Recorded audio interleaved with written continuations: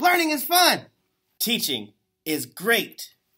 Do you know how many instrument families there are? I think there are four, but do your kids know how many there are? Have you ever wanted to group a math lesson and a music lesson together? Then you should get this book. Do you guys have this book?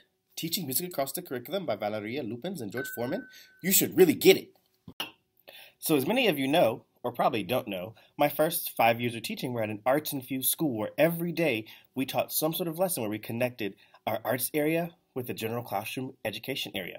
And that's what I love doing, making those connections so that our students can learn more information, retain more information, and perform better as they go throughout their educational careers.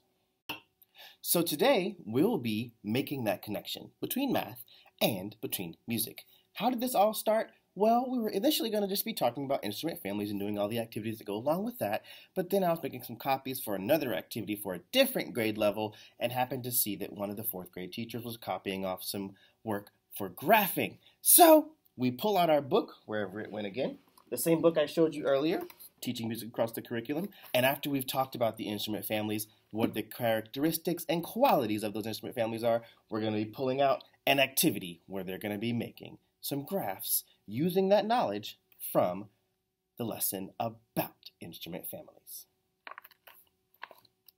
To be specific, if you already have this text, it's going to be on page 62, and your students are going to be making the graph.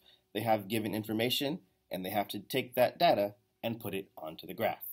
So it's going to be a great lesson. It's going to be a super fun activity. I'm going to love it. The kids are going to love it. They're all going to have so much fun working with music. So thanks so much for stopping by today.